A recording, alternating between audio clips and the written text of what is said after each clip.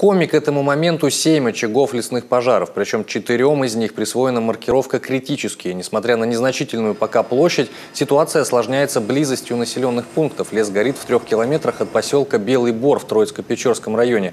В Интинском районе под угрозой сразу два населенных пункта – поселок Абись и село Косьювом.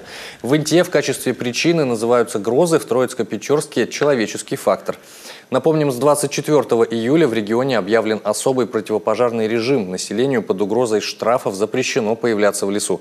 Запрещается также разведение костров, пал травы и мусора на территориях дачных обществ и землях сельхозназначения.